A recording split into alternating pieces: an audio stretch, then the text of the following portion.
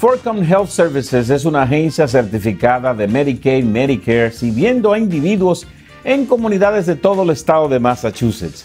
Para hablarnos de todos los productos y servicios que ellos ofrecen, se encuentra con nosotros su relacionador público, nuestro amigo Juan Valerio. Juan, bienvenido a tu casa Encuentro Latino. Buenas, gracias por permitirnos estar acá. Es un orgullo para mí participar una vez más en tu tan escuchado y visto programa. Claro, gracias. Health Services, ¿qué exactamente, cuando hablamos de health, la gente sabe que es salud, pero ¿qué exactamente hacen ustedes? Fíjate, este es un programa diseñado para ayudar a personas deshabilitadas a tener un mejor estilo y mejor calidad de vida.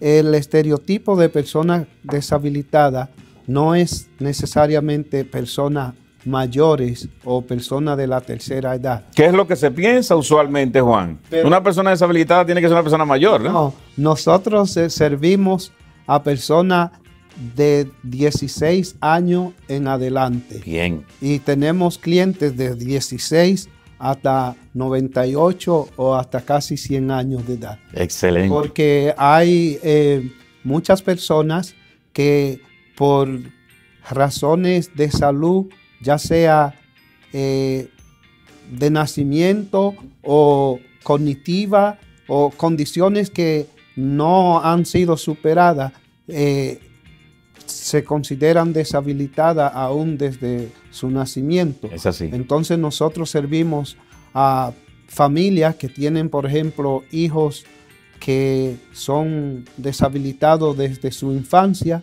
niños que tienen síndrome de Down, que no pueden valerse por sí solos y nosotros trabajamos con los padres y con esos niños para darle mejor calidad de vida y también para que los padres puedan tener una, alguna asistencia económica mientras eh, los cuidan a ellos. Y los ayudan un poco en, el área financiera. área financiera. Ustedes, Juan, ¿qué servicios uh, ustedes ofrecen? Tengo entendido que dentro de los servicios tienen enfermería especializada, ayudantes de salud en el hogar. Cuéntanos un poquito sobre eso. La por ejemplo, la, enfermería especializada. La enfermería especializada consiste en que cada cliente de nosotros cuenta con una enfermera que lo asiste, ya sea haciéndole visita mensual, pero también a través de una línea telefónica donde los que llamamos los cuidadores, que pueden ser tanto hijos cuidando a padres como padres cuidando a hijos, tienen acceso a consultar con nosotros.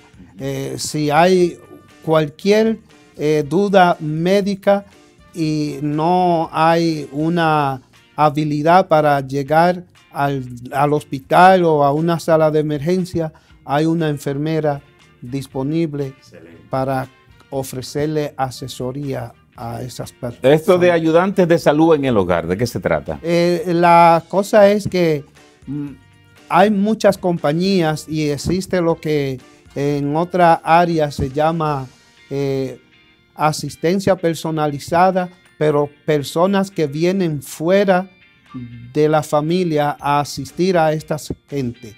Con Falcon Health Services, el privilegio es que nosotros entrenamos a un miembro de la familia dentro de la casa para que pueda darle los servicios a su pariente más cercano y así hay más confianza, hay más, mayor servicio y no existe la duda de cuándo va a llegar la persona que estamos esperando. ¿Por qué? Porque el cuidador está ahí, está en la casa. Y el paciente se siente más cómodo porque eso es familiar. No, fíjate tú que un niño o un joven que está deshabilitado eh, la seguridad que siente al saber que va a ser cuidado por su madre, por su padre o por un hermano mayor. Así es. Eh, eh, es algo que... Eh, y se le paga. Y se le paga. Eso es muy importante que nuestra gente sepa. Y, lo, otra cosa muy importante es que la compensación económica que va a recibir es libre de impuestos. Libre de impuestos. Eh, la gente se pregunta, pero ¿cómo puede ser eso? Simplemente hay un acuerdo con el gobierno federal y los gobiernos estatales para que las personas que se dedican a cuidar a un familiar en la casa, sus ingresos no tienen que ser reportados al IRS porque es un servicio que es muy valioso y entonces si las personas, además de que tienen que dedicarse a cuidar a sus seres queridos, también tienen que compartir los ingresos con el tío San, pues no resulta... Excelente, excelente.